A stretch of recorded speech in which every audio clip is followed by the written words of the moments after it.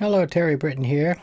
I've got a Logitech uh, webcam, and I wanted to show you a few little tricks that uh, that you can pull off with your uh, settings. Uh, one is the uh, oh, the trick of getting this down here.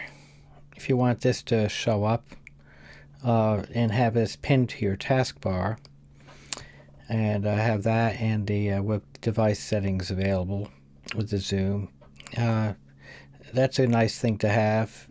And you can get that into the uh, pin down to the taskbar by following these instructions here. Just uh, if this is a Windows 7, of course. Type the word device, D-E-V-I-C-E, and you should see right at the top something called device property page component. It's the only one. And uh, right click on that and select in this case, it'll say pin to taskbar. Mine's already pinned, so it says on pin. But you can pin this to the taskbar. You can pin anything that you can find in here. You can pin it to the taskbar, okay? So that's how I got that to be in there, and uh, that's what this is. It opens this up, okay?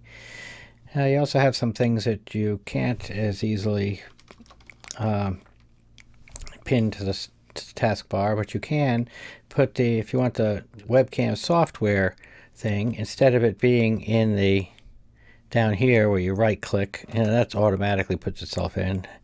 And uh, as you see, it says Logitech webcam software.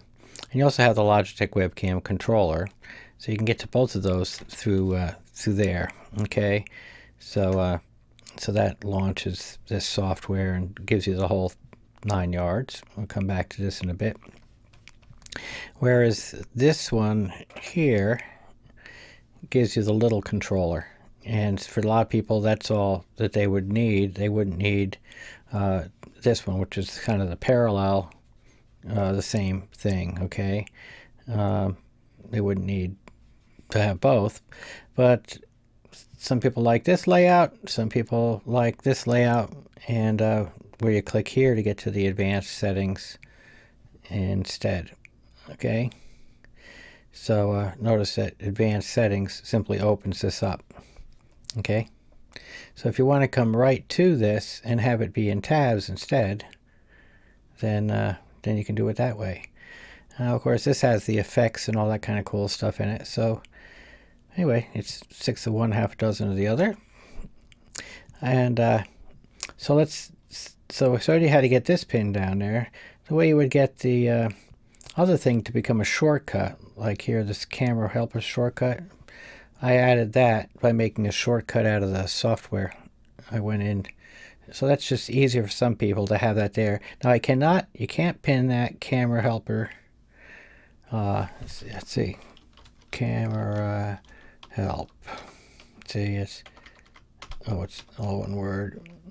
So there's no, uh, there is no piece of software that's pinnable that you can do this with, but you can go and make a shortcut by going into your computer and down here to the program files x86 and down to your Logitech folder. If I can find it, HJKL, here we go.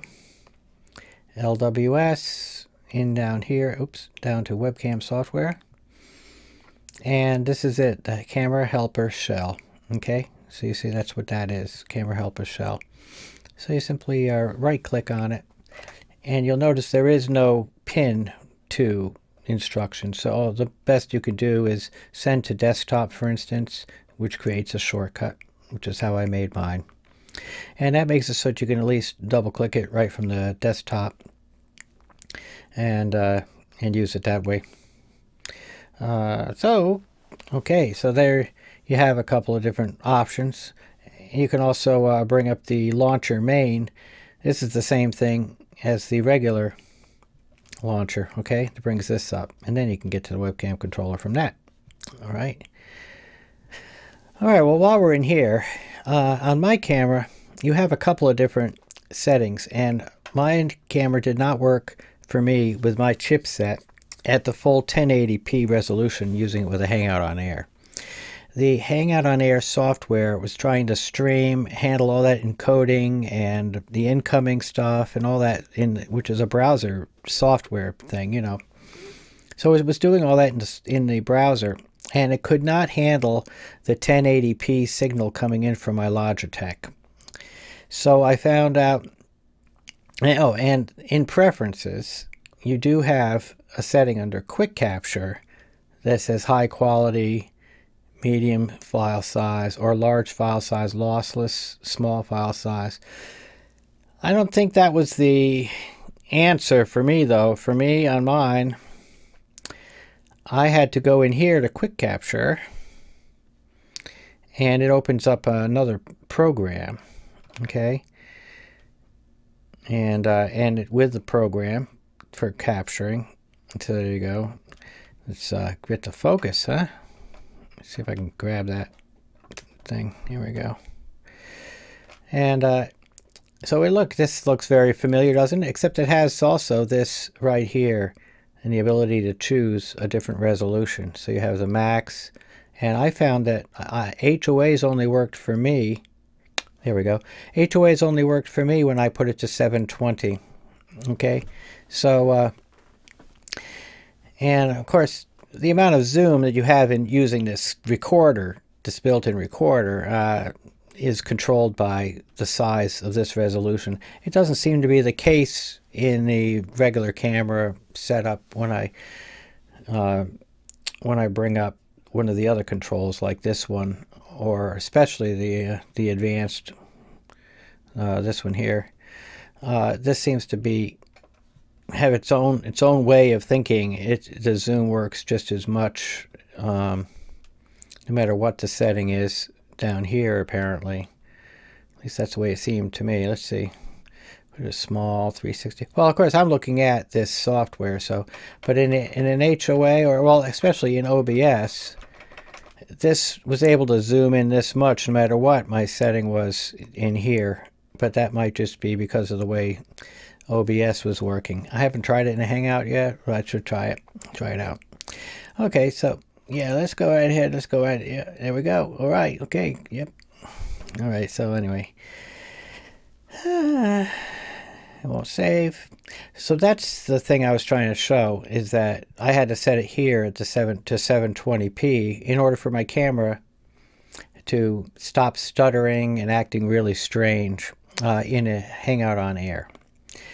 However, it could have been, maybe it was the setting too. I don't think so though, but uh, maybe. Don't know. I, uh, I, I have to do a couple of tests. I guess I should do a couple of tests. But if you want to do a couple of tests, try it one way and try it the other way. If you've been having problems with your camera, the main point is don't send a Hangout on Air, which is only 720p, you know, don't send a Hangout on Air the full, the full thing, the whole 1080, because it's going to have to work to shrink it down to 720. So if you can send it less information, and one way you can send it less information is by changing those settings. Okay, change the resolution, the physical resolution. Perhaps it might be as easy as simply zooming in a bit and making it so that it's less pixels in the height. Uh, but I'm not sure about that. It's may you know whether the conversion is working the same way. I have a feeling that when you set this to here, no matter what this zoom is, it's always sending it out 720p and never sending 1080, which is the height, by the way. 1080 means the number of pixels, 1080 pixels high. 720 means 720 pixels high. 480 is 480 pixels high. Uh, when you have this setting that's zoomed in, zoomed out, whatever, that's the most pixels you're sending out is uh, is that number of height. So that's what it seems to be.